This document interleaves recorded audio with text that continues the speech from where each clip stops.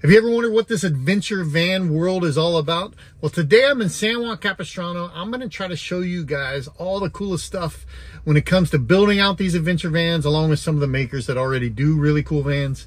Uh, we'll visit some friends. We'll show some cool products. It'll be a lot of fun.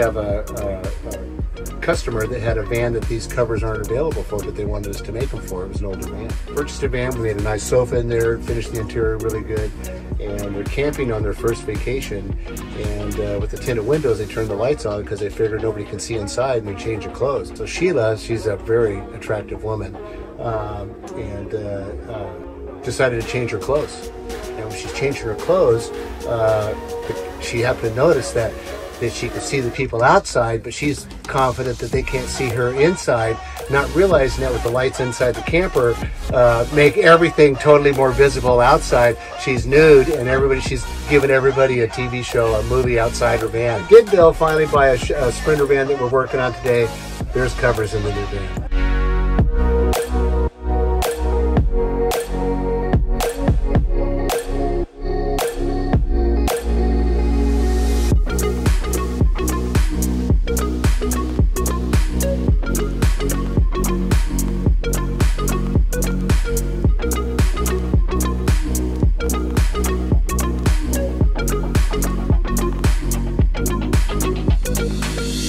Everybody, John with Owl, and I am standing inside of our brand new trailer. Uh, the team affectionately refers to it as our NASCAR trailer. It is actually our show trailer, and it has been uh, both a curse and a blessing. It's uh, wonderful because it allows us to show off a lot of our parts. We've got like these cool light displays from the bar. People can finally see and touch the visors without having to get in someone's van.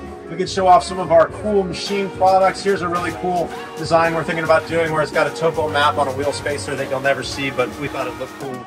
But uh, the trailer itself, the whole idea was to have something that we could bring to a show, have a really cool area to display our parts and not have a ton of setup time. And so we bought this trailer with all these open sides and then realized once we owned it that it was structurally not very stable. So our guys actually and gals built an entire roll cage for the trailer. So it's much stronger now.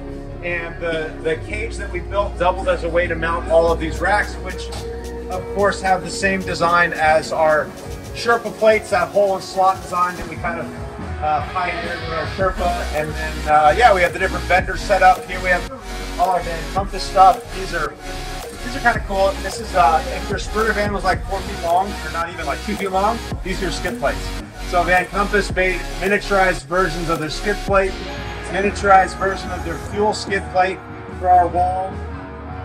All kinds of cool stuff. Agency 6, this is going to be Canyon over here. They haven't, uh, Jason has not delivered his parts yet. Jason, if you see this video, what's happening here, my friend? We've got stop and stands and nothing else. But he's going to have a whole spot in the back for lots of Canyon stuff. And yeah, so this is our first show with the full trailer and kind of tried to make a big welcoming area. So if you're at a show and you want to come see Owl and see these parts, turn on some lights, blind yourself, let me know. Stop on by.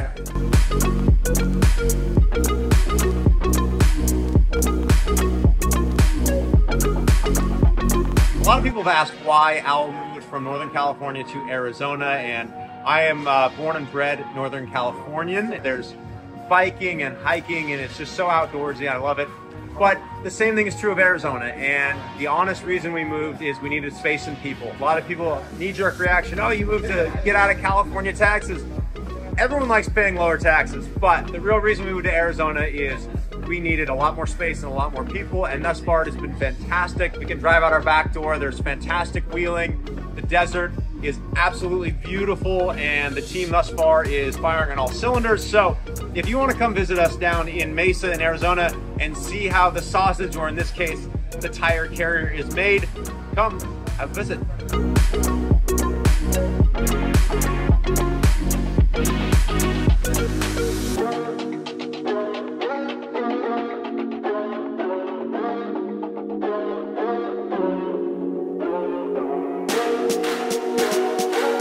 Hey guys, this is Dave with Bossy Vans. This is my family. This is Lizzie, my wife Molly, my son Christian, who you all know he's always on the face forefront of my videos. Uh, Annabella. We are located in sunny Southern California.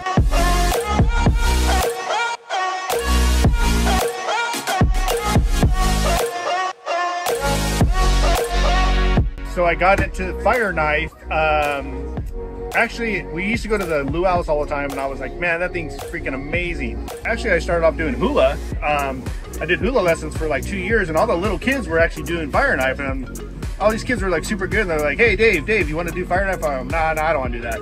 I just like hula dancing. I kind of just one day figured, hey, I'm just gonna try it, and I got really hooked onto it. So I've been doing it uh, kind of continuously for about a year now, and I get it to uh, pretty much soaked in fuel to where, yeah, I feel the fire on my arms now. It's fun.